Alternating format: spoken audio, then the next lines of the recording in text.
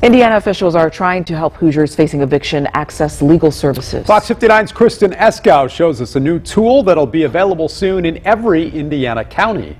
We want to make sure that we're creating soft landings and good outcomes for both sides. Judge Kimberly Bacon says the number of eviction filings coming into her Lawrence Township courtroom has doubled since this time last year.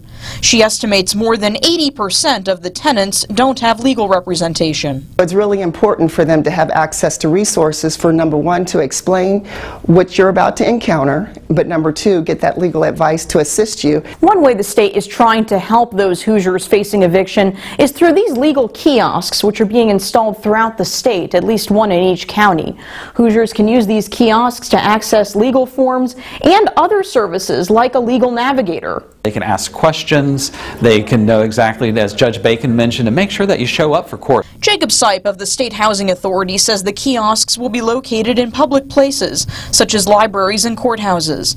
The state is using $13 million in federal COVID relief funds for the program. 120 kiosks will be installed to start, but Sipe hopes to eventually expand. I, I think really the goal is to make sure that it's accessible uh, for anyone who is uh, needs to go through or is going through any type of uh, judicial process. The kiosks are being installed beginning this month. In Lawrence Township, Kristen Eskow, Fox 59 News.